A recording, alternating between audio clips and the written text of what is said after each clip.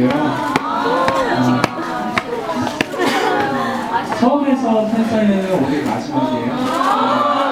어, 이렇게 두 번이나 했는데 찾아 와 주셔서 너무 감사하고요. 또 먼 데서 또 찾아오신 오신, 오신 분들 네, 너무 감사드리고요.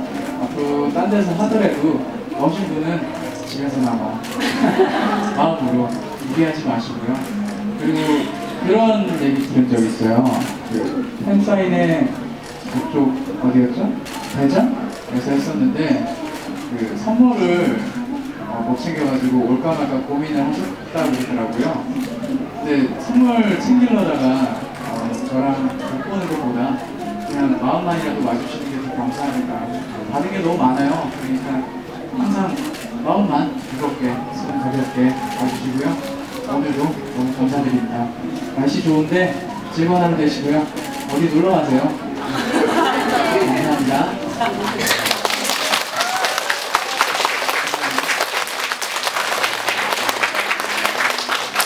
그럼 다음은 노래 좀 크게.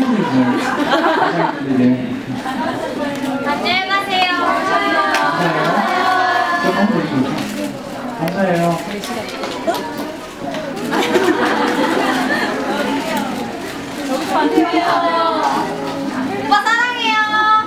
난 사랑해요. 고마워요.